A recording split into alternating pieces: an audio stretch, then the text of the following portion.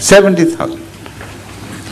He had to employ extra help to sort them out and finally reach the conclusion as to which lady would befit the, all the conditions and uh, circumstances in which she had to, she would have to cope. And the choice with the grace of Allah was so beautiful that that lady is still living as a Muslim. And uh, she has given birth and raised the children to be excellent Muslims. What of those who did not read that advertisement? Or those who read but could not find a husband through that advertisement?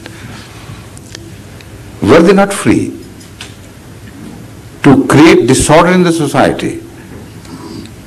Not only in the lives of unmarried people, but also in the lives of married people, in the lives of married women those who had to cope with the daily free relationship of their husbands with other girls and they could not stop that. Would that not create a hell for the whole society? If it does, why do you emphasize on those small areas of fire which you relate to the Islamic injunction, which are found like small islands here and there? which are not a routine of the society. The incidence of marriage more than once in Islam is so few and far between that even in this society of thousands of Ahmadis here in the UK, I doubt if there will be anyone whom you could pinpoint as having married twice. Except for some from African societies I know, they were married twice or some other countries. But uh, in situations like one wife had died and he, they may have to marry again. Or in a situation where it was a custom in Africa, even now, to marry a hundred times if possible you could. So Islamic injunction must be studied in the background of its uh, history, what necessitated it, and its potential applicability to the grave human situations. And I hope this answer will satisfy you to a degree, I hope. Thank you. Thank you.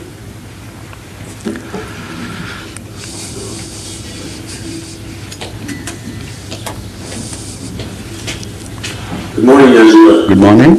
Please excuse my uh, pronunciation. or my familiarity, but it is my first time in a mosque. Forgive me. I have two questions. In fact, uh, I have to seek pardon for my pronunciation, not you, for yours. Your pronunciation is perfect, sir. Thank you. If my English, if my Indian or Hindu or Urdu was half as good as your English, Thank you so much. Very kind. I'll be It's well very on my modest of way. you. Um, I have studied much theology in uh, nearly 50 years. Buddhism, uh, the Bhaktivedanta Swami, uh, the Mahayana school, the Hinayana school, Catholicism, uh, Protestantism, Evangelism, Baptism, Anglicanisms, and all these different isms. In that regard, we have taken after each other.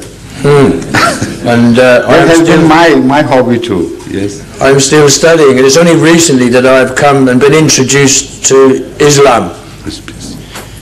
Thank you. But all the religions tell me, here is God, there is God, this is the way, you must do this, you must do that. I do believe that God is not confined to man's philosophy, that God is above. However, I want to know God. There is something within me Right. that desires to know God. I run away from God, but He always brings me back. Quite, quite. The world is not. Mm-hmm. Can I? Can you tell me where I might find God? I, I'll do that. Yes, sir. Thank you very much. You. Your question is first of all very moving because it's not just a case of a single person here.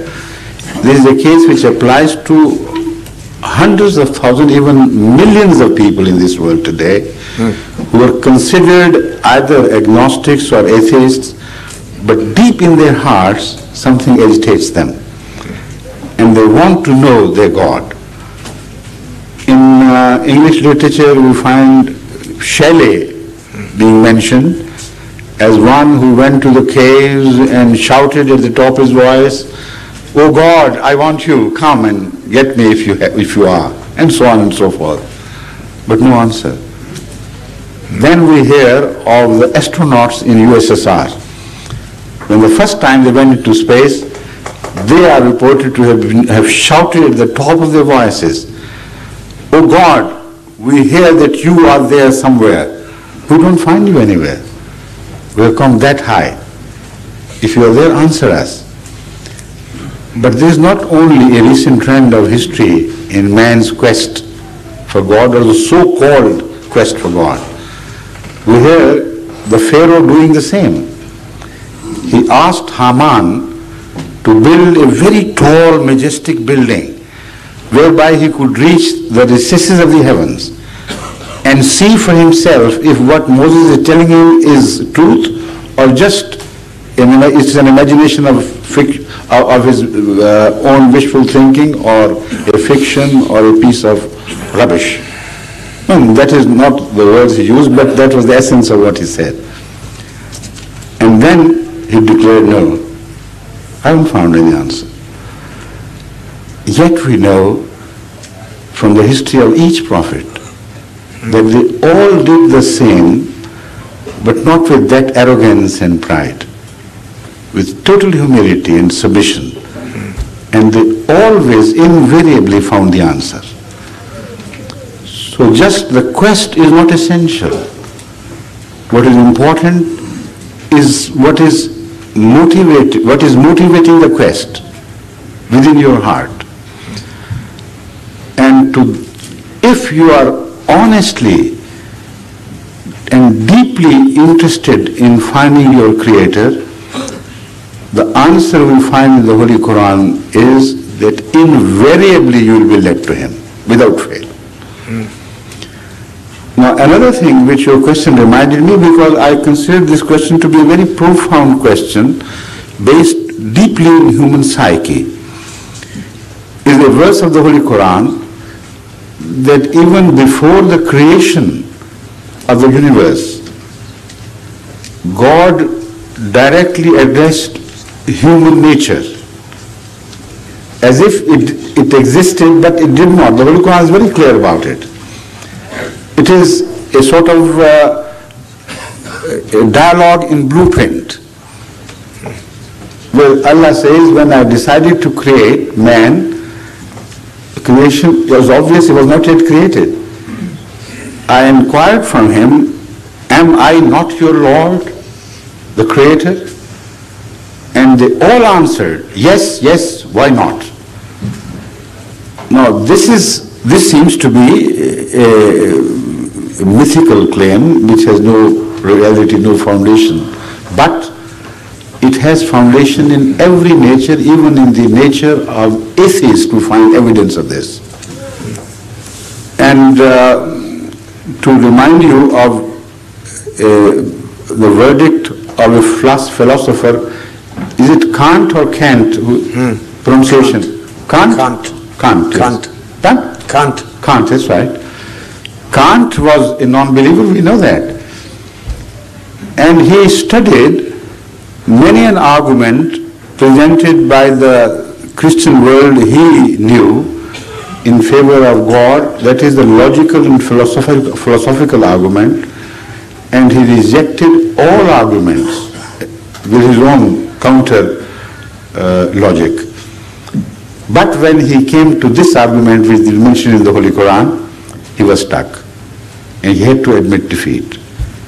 He said, only there is one argument which keeps agitating my mind and I found no answer, find no answer to that. Is that why on earth should we find the quest for God all over the world, without fail belonging to all ages of human experience? He said, this is what keeps bothering me. And if there